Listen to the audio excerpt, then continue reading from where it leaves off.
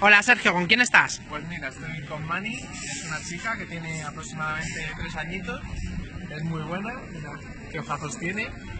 Y nada, yo llevo aquí poquito y vamos, la he conocido, la he conocido hoy y es adorable. Es una perrita adorable.